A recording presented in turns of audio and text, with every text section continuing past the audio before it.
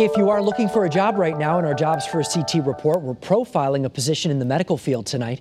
GoHealth Urgent Care is hiring patient care coordinators all across the state. You would welcome patients, answer the phone, schedule appointments, and things like that in the office. Applicants should have at least a high school diploma and experience with electronic medical records.